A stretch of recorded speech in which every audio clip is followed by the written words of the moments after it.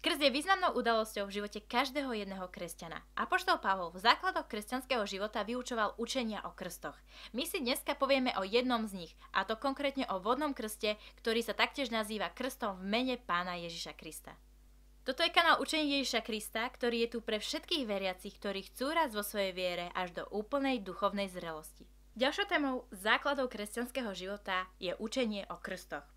Krst možno viacerí poznáte, klasický, pokropením, ako malé babetka, možno aj vy niektorí ste sa dali pokrstiť v kostole. Avšak biblický krst je trošku iný a o tomto si ideme dneska viacej povedať. Ideme sa pozrieť na to, ako sa dal pokrstiť Pán Ježiš, pretože on je nám príkladom úplne vo všetkom. Vtedy prišiel Ježiš z Galilei k Jordánu za Jánom, aby sa mu dal pokrstiť. Jan mu však chcel v tom zabrániť a povedal, ja by som sa mal tebe dať pokrstiť a ty prichádzaš ku mne. Ale Ježiš mu odpovedal, nechaj to teraz, Patrí sa nám vykonať všetko, čo je spravodlivé. A tak mu Ján už nebránil. Po krste Ježiš hneď vystúpil z vody. V tom sa mu otvorili nebesia a videl Božieho ducha, ktorý sťa holubica zostupoval na ňo. A z neba zaznel hlas, toto je môj milovaný syn, v ktorom som našiel zalúbenie. Všimnime si takú jednu vec, že po krste Ježiš hneď vystúpil z vody. Ježiš sa dal pokrstiť tak, že celý vošiel do rieky Jordán, kde Jan Krstiteľ ho pokrstil. A celého ho zmočil, pretože sa tam používa grecké slovo baptizo, čo znamená vnorenie, ponorenie. Ako sa krstí v dnešnej dobe? Dneska častokrát vidíme, že berú sa napríklad malé bábetka, ktoré kňaz potom pokropí svetenou vodou a v rámci toho to sa nazýva krst. Avšak biblický krst nám jasne ukazuje, že je to niečo iné. Ak niekto chcel byť očistený od erichov, častokrát sa musel umývať. A také umývanie vo vode a voda ako taká bola vždycky symbolom očistenia duchovného, ale aj možno fyzického. A preto máme aj vodný krst. Vodný krst nie je len takým niečím hociakým, aby sme to dali na ľahkú váhu, pretože stále to súvisí so základmi kresťanského života, ktoré vyučoval Apoštol Pavol. Keď budeme ďalej čítať skutky Apoštolov, tak si všade všimneme, že bola nejaká voda a človek povedal, Hľa, voda, čo mi bráni, aby som sa dal pokrstiť? A vždycky všetci sa dali krstiť celým telom, vnorením do vody. Krst určite nemôžeme považovať za nejakú náboženskú tradíciu, pretože je v tom mnoho viacej. Okrem toho, že krst je symbolom duchovnej smrti, ktorá sa stala, keď sme prijali Pána Ježiša Krista. Stali sme sa mŕtvych samým sebe, mŕtvými hriechu, ale živí Bohu. Vidíme to aj napríklad v liste Rímanom v 6. kapitole. Mohli by sme my, ktorí sme zomreli hriechu, v ňom ešte žiť? Alebo neviete, že všetci, čo sme boli pokrstení v Krista Ježiša, boli sme pokrstení v jeho smrť? Krstom sme teda spolu s ním boli pochovaní v smrti, aby sme tak, ako bol slávou Otca vzkriesený z mŕtvych Kristus, aj my vstúpili na cestu nového života. Ak sme s ním zjednotení v jeho smrti, budeme s ním zjednotení aj vo vzkriesení. Krst je totižto symbolom smrti, duchovnej smrti, ktorá nastala, keď sme prijali Pána Ježiša Krista do nášho života. Duchovne sme samým sebe zomreli a prijali sme Ježiša, prijali sme jeho život, aby sme aj my potom mohli byť skriesení a žili väčší život s Bohom. Krst okrem toho je aj symbolom pohrebu, Starý človek s hriechmi, s vecami, ktoré neboli dobré, zostáva v vode a vystupuje nový človek, vzkriesený človek. Ako sa v Božom slove píše, krst je symbolom vzkriesenia, pretože starý človek zomrel, starý človek je pochovaný pod vodou a vstáva nový človek, ktorý je ospravedlnený a stvorený podľa Božieho obrazu. Poznám veľa svedectiev, kde ľuďom, ktorí mali rôzne satanistické tetovania, po vodnom krste tieto tetovania úplne zmizli. Pretože Boh chce, aby ten starý život zostal starým životom a aby mohli žiť nový život. A keby mali tie satanistické tetovania, ich mysel jednoducho vždycky, keby sa pozrela na ne, by sa vracala do starých časov, do starých koľají. A tak Boh chcel, aby tá stará vec bola zabudnutá a krstom spôsobil takýto nádherný, úžasný zázrak, že tetovania zmizli. Zároveň krst je aj symbolom spasenia, ako som spomínala, že je predobrazom toho, čo príde. V Božom slove sa aj píše o Noáchovi, ktorý vierou, keď vošiel do korábu, bol zachránený. A tá potopa, ktorá nastala, je takisto predobrazom krstu. Vidíme to napríklad aj v prvom liste Petrovom 3. kapitole 21. verši. To je predobraz krstu, ktorý teraz zachraňuje aj vás. Nie však obmytím telesnej nečistoty, ale prozbou Bohu o dobré svedomie na základe vzkriesenia Ježiša Krista. Krst je symbolom pohrebu, zanechania starého života, nástupu do nového života a zároveň symbolom spasenia. Keď sa dáme pokrstiť, zároveň tým aj svedčíme. Je to svedectvo voči samému sebe, voči Bohu, voči satanovi aj voči ľuďom. Keď sa dáme pokrstiť, ukazujeme, že keď veríme v Pána Ježiša, tak to myslíme naozaj vážne a preto sa dávame pokrstiť. Okrem toho je krst aj svedectvom voči Bohu, že Bože, ukazujem ti, krstím sa, myslím to s tebou vážne, dal som ti svoj život, hľa, symbol krstu. Taktiež aj satanovi jasne ukazujeme, že stali sme sa novým človekom a že už nemá právo siahať na náš život, pretože už patríme Bohu. A okrem toho, krst je aj svedectvom voči iným ľuďom, aby videli, že naša viera je naozaj sná a my to myslíme naozaj vážne. Takže ďalším takýmto dôležitým aspektom krstu je aj svedectvo. Ja si pamätám, že keď som sa dala pokrstiť vo vode e, v jednej našej krásnej slovenskej priehrade, tak som si uvedomila, že naozaj som s pánom Ježišom. Lebo dovtedy, možno viete, moje svedstvo, som bola v ezoterike. A keď som prijala pána Ježiša, cítila som, že to ešte potrebujem nejako duchovne vyznať, ukázať, ako keby nejako ešte duchovne zapečatiť nejakým takým fyzickým skutkom. A krst v tom momente prišiel úplne tak spontánne, počula som o ňom a hneď som sa chcela dať pokrstiť a zistila som, aký je to silný nástroj. Po krste som naozaj cítila ešte takú väčšiu slobodu a si pamätám, že keď som bola čerstvo po krste a sadla som si potom tak na lúku a rozprávala sa o tom s Pánom Bohom, že aká veľká zmena v mojom živote, tak som si všimla také veľké oslobodenie na tele, na duši, ako keby niečo naozaj zo mňa bolo vyplavené do tej vody a zostalo tam. Ako keby tá stará Veronika, ktorá bola zasvetená rituálmi a rôznymi zasveteniami zostala tam, zostala v tej vode a vyšla nová Veronika, očistená, taká ľahká, ako keby naozaj taký veľký batoh mi spadol z pliec. Okrem toho som si uvedomila, že aj ten krst ako keby bola nejaká zmluva s Bohom.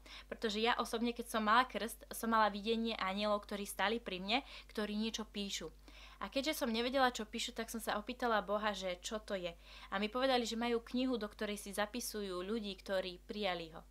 A potom neskôr som čítala Božie slovo a zistila som, že Boh naozaj má nejakú knihu, knihu života, do ktorej si zapíše tých ľudí, ktorí sa k nemu priznávajú. A ja som vlastne mala také videnie tých anielov, ako to píšu. Takže ten krst je naozaj takou zmluvou nás a Boha. A je to niečo úžasné, určite vám odporúčam teda sa dať pokrstiť. Takže krst je naozaj takým slobodným rozhodnutím, vyjadrením svojich rozhodnutí voči Bohu, svojho naozajstného áno Bohu, áno Bože, chcem ťa, berem ťa, príjmam ťa a idem tvojou cestou.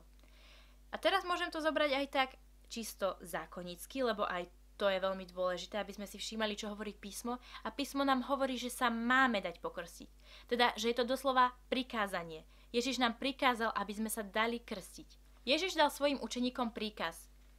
Chodte a získavajte mi učeníkov vo všetkých národoch a krstite ich v mene Otca i Syna i Svetého Ducha. Takže ak to zoberieme tak iba polopate, keď nechceme v tom nejakú lásku mať, tak Ježiš nám dal príkaz, aby sme činili učeníkov a krstili ich v mene Otca, Syna i Ducha Svetého.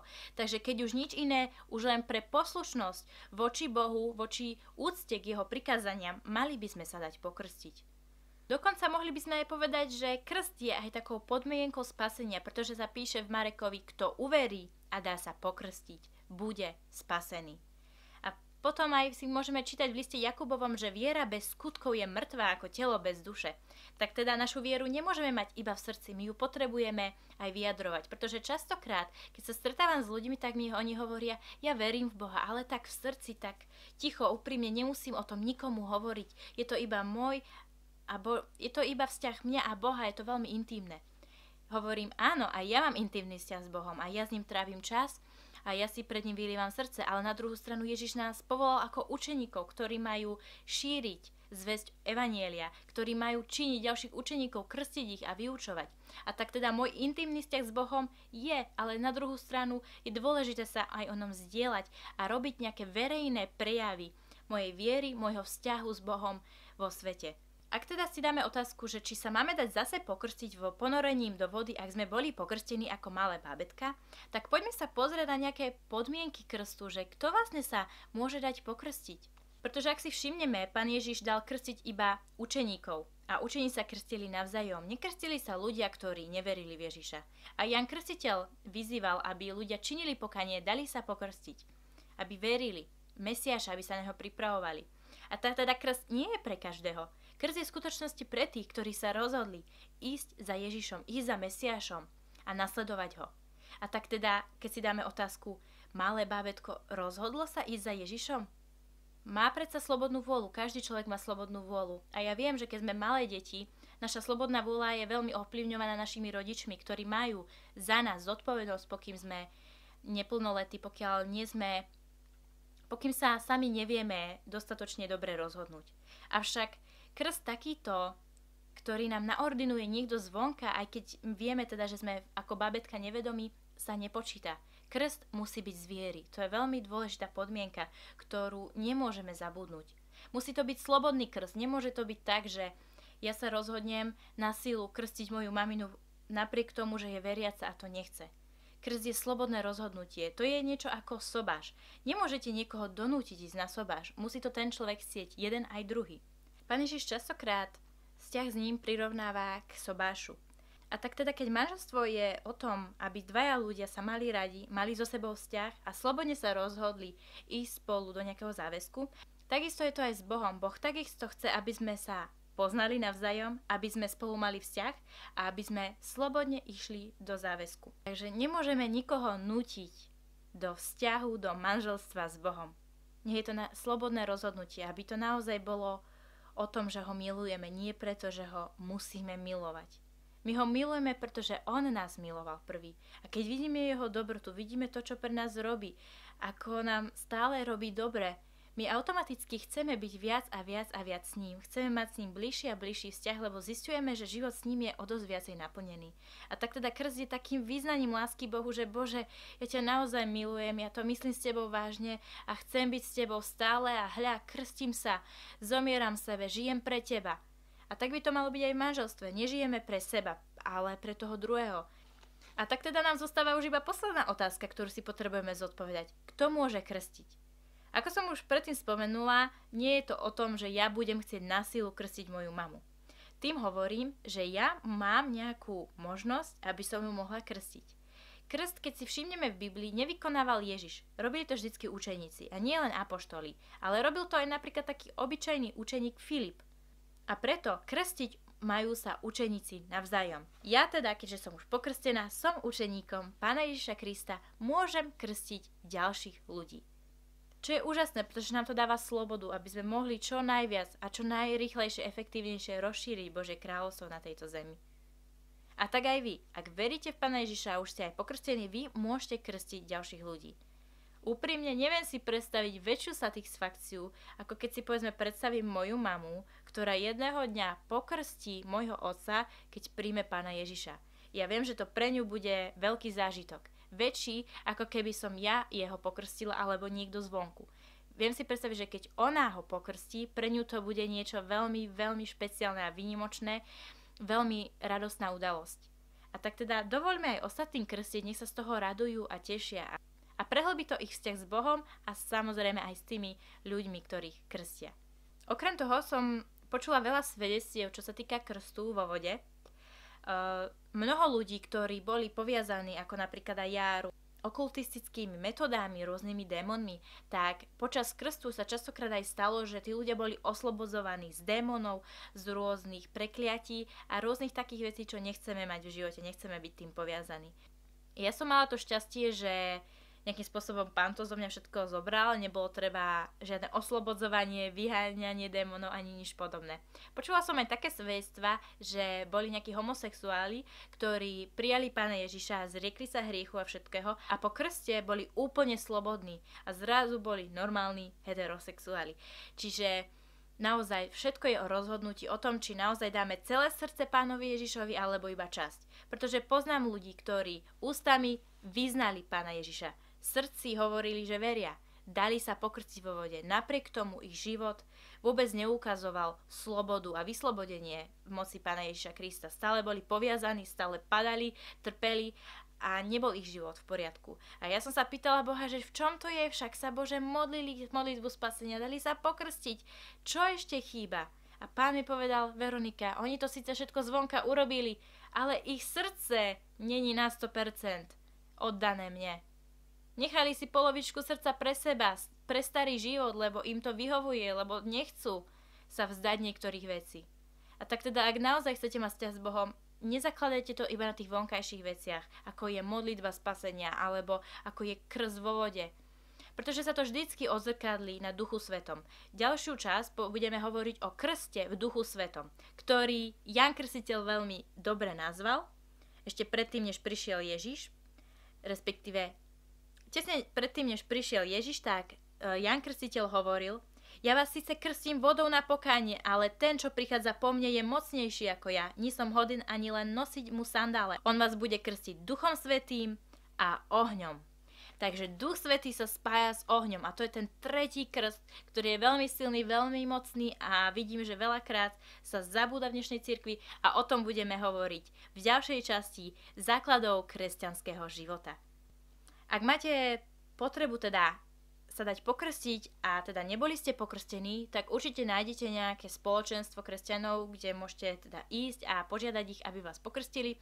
Ak nie, môžete mi napísať, skontaktujeme sa, nájdeme spôsob, ako vás môžeme pokrstiť. A ak ste už pokrstení, tak buďte slobodní a naozaj krstite ostatných ľudí, učeníkov mne Ježiša Krista.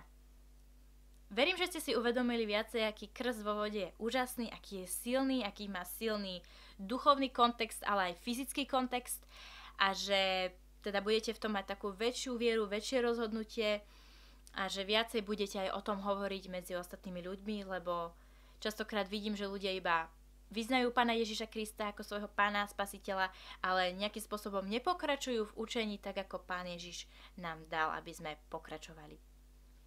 A tak teda ja sa modlím mene Pána Ježa Krista, aby ste boli požehnaní, aby Pán vás viedol skrze Ducha Svetého, aby ste boli naozaj s tými jeho učeníkmi, ktorí dodržiavajú jeho slovo, ktorí ho nasledujú, ktorí ho milujú celým srdcovom a vám žehnám, aby vaša viera rástla s každým dňom, s každým poznaním Pána Ježiša Krista.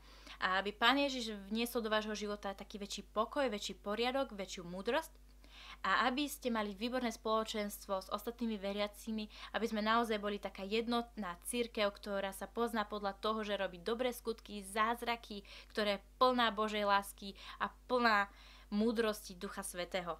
A teraz ešte prehlasujem úplné uzdravenie nad každým telom, nad vašim telom v mene Ježiš prikazujem, bolo úplne zdravé a silné, aby každá bunka fungovala tak, ako má a aby všetko chore a choroboplodné zmizlo v mene Ježiš. Prehlasujem život a zdravie v mene Ježiša Krista. Amen. A tak verím, že sa vidíme v ďalšom videu, kde budeme pokračovať v týchto učeniach o krstoch a budeme rozoberať krst Duchom Svetým. Buďte požehnaní, majte krásny deň a vidíme sa na budúce.